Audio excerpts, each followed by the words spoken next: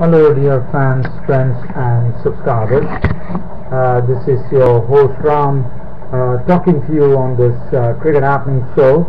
Uh, yes, uh, don't go by the quality of the video, the photo. I'm doing it at night, but as you all know dear friends subscribers, this is vacation time for me. So I'm just trying to connect to you. So I know the quality is bad. Uh, I'm not in my professional outfit. Uh, I'm doing it at night. There's no fixed timing. Anytime I come and do my cricket show, it's all due to your loyalty to this cricket show, dear cricket fans. So whether you don't, you like it or not like it, I mean, the sense. Uh, I know there have been comments coming that the quality is poor. Yes, what to do? I mean, I have no other choice with whatever the limited resources that I have at my disposal during my vacation. I'm still doing this cricket show. I know uh, the images are distorted, uh, the sound is too much sometimes, a lot of things happening. Anyway, let's not uh, get into all that and uh, let's get my uh, my cricket show going here. So there will be a little bit of excitement, less, uh, lesser excitement here. reason being it's night time, so I don't want to disturb my next door neighbors. So, well, as far as today's cricket happening show is concerned, well, as I'm talking to you, one an exciting match has come to an end here at the uh, at the uh, at the capital of Bangladesh in Dhaka. Today was the last match of the Bangladesh Zimbabwe tour of Bangladesh, and as you know, Bangladesh had won the first T20 match, and what a way for Zimbabwe to finish it off in a T20 match by leveling the series in the last over. Zimbabwe winning the match by three wickets, a sensational win, I would say, for Zimbabwe because everything looked lost when they had five wickets down for 39 runs, chasing 135 for 9, set up by Bangladesh. But there was one hero today. He would be called and hero all-rounder, no doubt about that. When I heard, I mean, have you heard about Zimbabwe? Getting 18 runs for the final over and that's what precisely happened. And I'm going to enact it for you but I'll just give you a brief as to what happened. Bangladesh were the ones who actually batted first. They made 135 for 9 of their 20 overs and Zimbabwe batted. So Zimbabwe as I said they were absolutely down in the dumps and here they come up in trumps come up trumps with Neville Madziva smashing 18 runs of the final over. 19 runs to be precise I suppose because he two sixes uh, and yes he hit 18 runs. They required 18 runs. The final over was being bowled by Nasir Hossain of Bangladesh. Zimbabwe needed 18 runs. They still had yesterday's hero Malcolm Waller at the crease who holds the record for the fastest 50 by a Zimbabwean T20 cricket but he was dismissed in the in the in that final over but that really didn't uh, cow down Madziva who he really uh, decided that the only way to deal with the ball is to really hit it into the fence or out of the fence over the fence. That's what he precisely he played some magnificent shots to win the match. 18 runs required and Neville Madziva the all-rounder had made 18 runs to actually win the match for Zimbabwe and he was truly elated. Why not? So just giving you um, a sort of a synopsis here. Now this was the match situation. At the end of over 18 Zimbabwe were 112 for 6 they needed 24 runs of the 12 balls. But the 19th over was being bowled by Mustafizur Rahman the left arm bowler and he really kept things on a tight leash by conceding just 6 runs uh, to Madziva and Waller and then look at what happened. Now this is where all the sensational overs started. The, the 20th over, uh, now I'm going to enact it for you. Uh, it was um, it was Nasir Hossain was the bowler uh, and he was bowling the final over.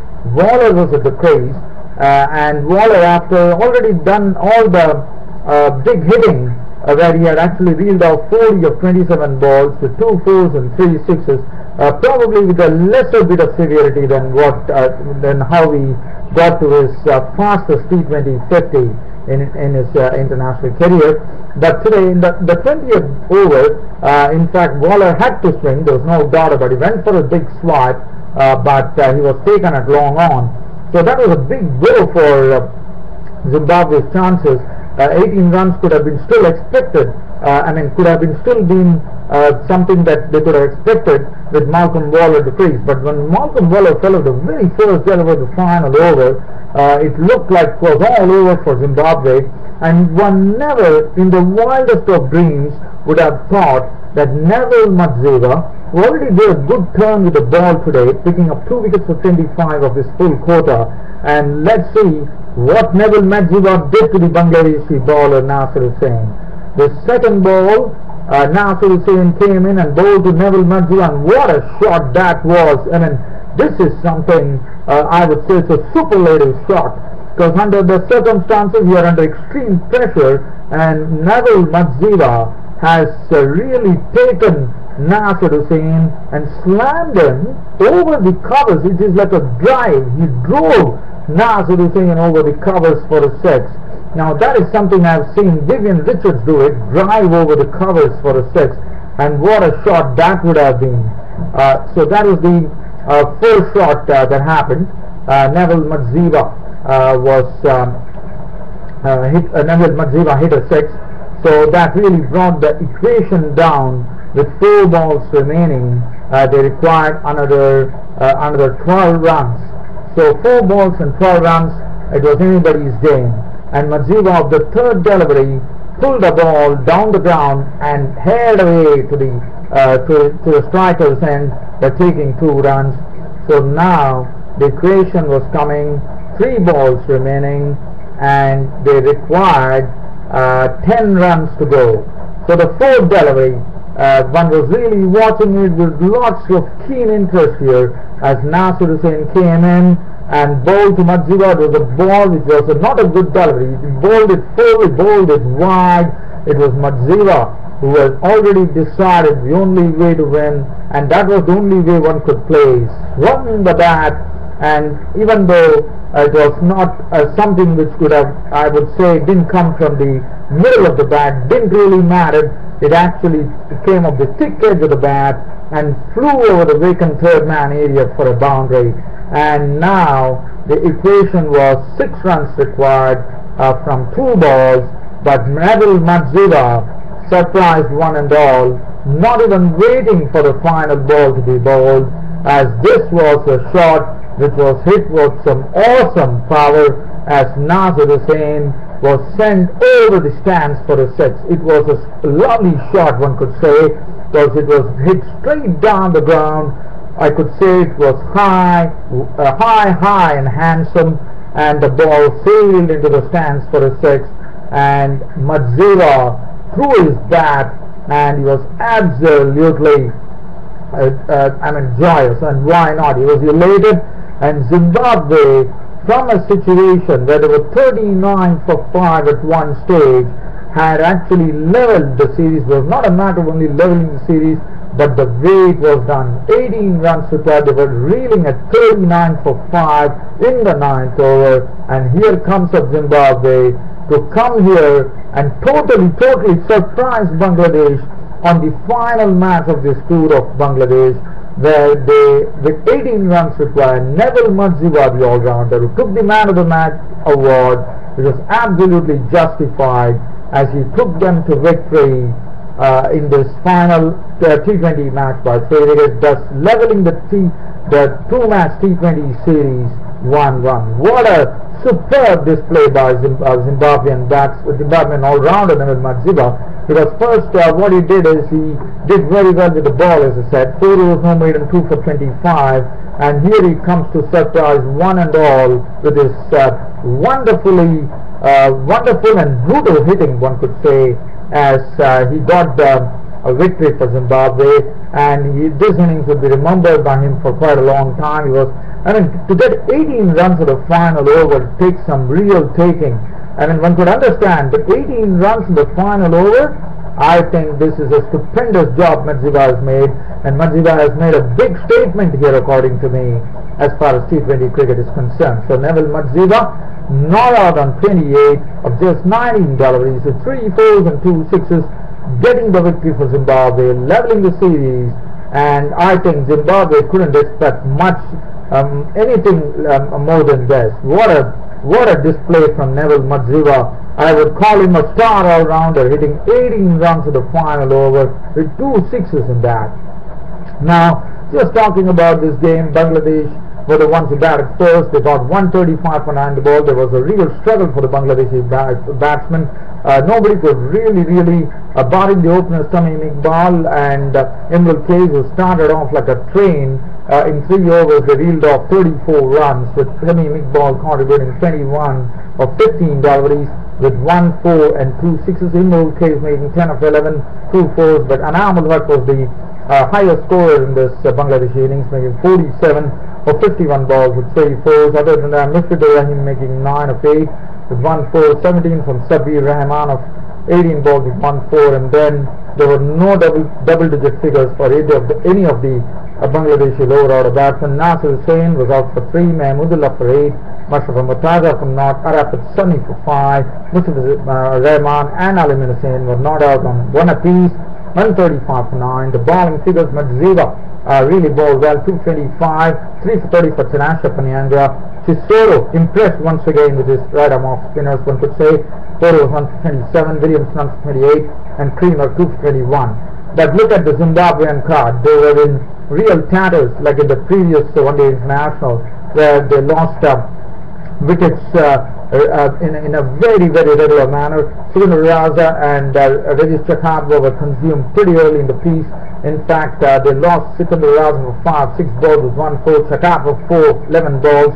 Williams was out to Al-Amin Hussain for not, and Craig Ervine was run out for 15. But again, when uh, after Craig Ervine was out, the hope was there with Chigumbura uh, at the with Luke Jongwe, but uh, Chigumbura himself being a victim of Arafat Sunny uh, for not, uh, that really tightened matters for Zimbabwe, 39 for 5 in the ninth over. But then Jongwe offered some good support uh, to the hard hitter Malcolm Waller at the other end by contributing in a good partnership where they slowly resurrected uh, things for Zimbabwe to a, uh, to a good extent uh, by adding a 50-yard runs. But then Jongwe uh, was a victim of Al-Amin Hussain for 34 or 38 balls with 1-4. Uh, and then Malcolm Waller was there in the middle and then it was left to Malcolm Waller and Madziva. Malcolm Waller and Madziva really took it on but then as I said then I already recreated uh, what really happened in the penultimate over and the final over and well really one has to really doff our hats to Neville Madziva looking to be a star all-rounder in the making for Zimbabwe. Today he has become a star, no doubt about it. Smashing 28 of just 19 deliveries, 3 fours and 2 sixes. But the good part of that, or the most important part that one could talk, is in a T20 match 18 runs to win of the final over. Neville Madziva delivers it for Zimbabwe. I mean, I said, as I said, it's a great, uh, great batting display from this, uh, uh, from this uh, bloke, uh, Neville Madziva, and I'm sure we're going to hear a lot about this uh, bloke here. Now, 137, so thus the, the Zimbabwean tour of Bangladesh ended on a high note, I would say, by leveling the series, T20 series 1-1. Uh, Mortaza none for 27, Al Amin Hussain 3 for 20, Mustafa Rahman 1 for 12, bowled superbly, Sunny 1 for 26, and Nasir Hossain 3.5 overs, no made him 1 for 45. Now, one thing that uh, beats me here uh, is that Nasir Hossain has been costly, so probably a bit of overconfidence on the part of the Bangladeshis, and they, would, they never would have expected the unexpected, and that's the unexpected that Neville Madziva brought about here uh, at the Dhaka Cricket Stadium in Bangladesh to disappoint the Bangladesh fans, but uh, the Zimbabwean fans. So player of the series was Malcolm Waller, uh, really showed uh, that uh, he's a good tonker of the ball, and player of the match Neville Madziva, without a shadow of doubt. And uh, really, once again, I would say congratulations to Zimbabwe and, congratu and congratulations for a wonderful display uh, of hitting by Neville Madziva in the final over uh, to get 18 runs of the final over. Well, from here, I'm going to shift off to another match and uh, let me also tell you that the match between the second day's play between South Africa and India was completely washed out today in Bangalore and now I'm going to talk about this match. Now this was another match which really really one would have uh, the unexpected has happened on this particular day I would say as far as cricket happenings are concerned because New Zealand yesterday were 140 for 2 put up a solid reply in fact uh, this is something which would have stunned Australia I would have never expected this with the New Zealand score on the close of play on the third day of the second test match against Australia at the WACA in Perth um, saying 510 for 6 wickets. reply to Australia's 559. Now this is something one would have never expected, but that happened with the overnight pair of Kane Williamson getting on to yet another century with his classic driving down the wicket um, and driving through all parts of the wicket, but scoring 166 runs of the 24 fours.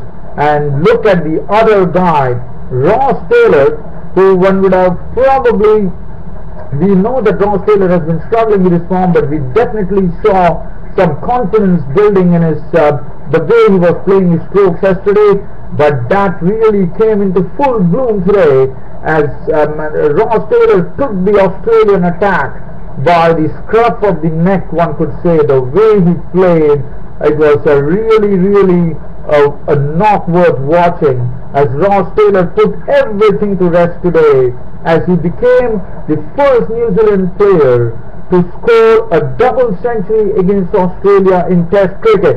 Now that is a great record. The previous record was held by Martin Crowe, the stylish Martin Crowe, former great batsman from New Zealand. Martin Crowe made 188 against Australia. I think it was 188 and unbeaten runs. And now Ross Taylor has gone on to become the first New Zealand player to, uh, to score a double century against Australia in Test cricket and what a feeling that would be. And Ross Taylor was still there at the end of the day unconquered on 235 with 34 boundaries. He continued uh, to play some beautiful strokes. And this partnership that happened between New Zealand between Kane Williamson and Ross Taylor raised the bar today for New Zealand because the partnership they came together when the score was 87 for 2 and they realized uh, uh, 200 and, uh, um, uh, 265 runs they realized for the third wicket and I'm told this is an all-time record for New Zealand against Australia for any wicket. This is the highest partnership that they ever had against Australia in Test cricket. So a lot of records were broken today. Take a bow there, Australia. He's looking good for a triple century, I, I reckon. He was not out on 235, 34 fours. Brendon McCullum was bowled by Marsh for 27, 4 fours. BJ Watling was out for 1 to the bowling of Starc. Bracewell was out for 12. Mark Craig was tipping Mark uh, uh, Ross Taylor Company with 7 not out to his name as New Zealand finished off the third day on a great note scoring 510 for 6 wickets only 49 runs still remaining for New Zealand to get into the lead and this is Australia uh, for, for Australia this would have really stunned them but also let me tell you Mitchell Starc today God star, uh, hit the 160 kph uh, on the clock today. Now, as you know, the 160 kph has been hit by only two bowlers in the past. One is Shoaib Akhtar of Pakistan, the former uh, Pakistan ace fast bowler, and the former, uh, not former, and the Australian, uh, uh, you know, really, real tricky Shaun Tait, Shane, Shaun Tait who has done it. Uh, now Mitchell Starc today delivered a Yorker which was at 160 clicks. Now Mitchell Starc was bowling superbly and the way he bowled today, well it was a real uh, something uh, that um, it was a real sight to watch. Mitchell Starc generating so much of pace that he was actually uh, consistently clocking at 150 at times and uh, then finally uh, even though Mitchell Starc bowled so quickly, I thought credit goes to Ross Taylor, Kane Williamson to negotiate the bowling in the best possible manner and take New Zealand uh, to such a score uh, that New Zealand themselves would have never imagined. But all in all, credit to New Zealand for putting up a, a gallant display here. Uh, and looking at the bowling, Mitchell Starc, uh, I thought uh, really impressed everyone and really showed what a very good cricket he is turning out to be. 36, 83 runs and 2 wickets, one wicket apiece to Josh Hazlewood, Mitchell Johnson and Aaron Lyon and also Mitchell Marsh and that was the end of the day. So as I said, the cake was taken by Kane Williamson and um, Ross Taylor as Ross Taylor became the first double centurion for New Zealand in Test cricket against Australia.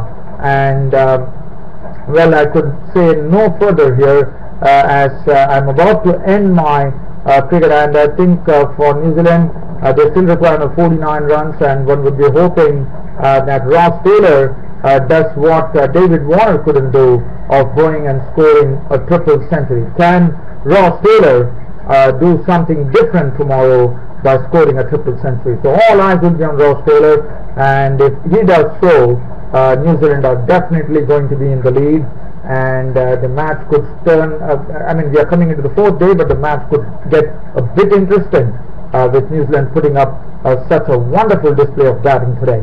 Well dear fans and subscribers, it's about time for me to end this cricket show today and this is Ram here saying good night to you all dear friends and subscribers. Thank you.